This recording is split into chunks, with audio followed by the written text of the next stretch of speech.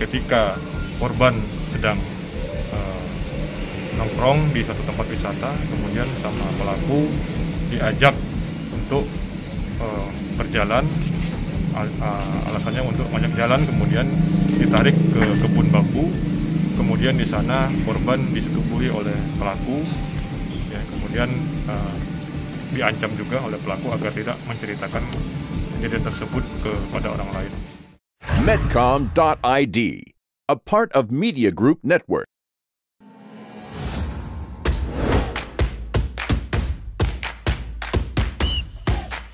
Bubur ayam kalau diaduk-aduk jadi cair. Seriously? Diaduk kayaknya ya.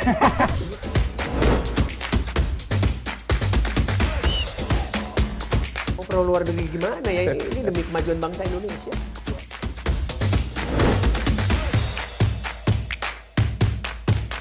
Isu kebangkitan uh, PKI ini uh, dihentikan.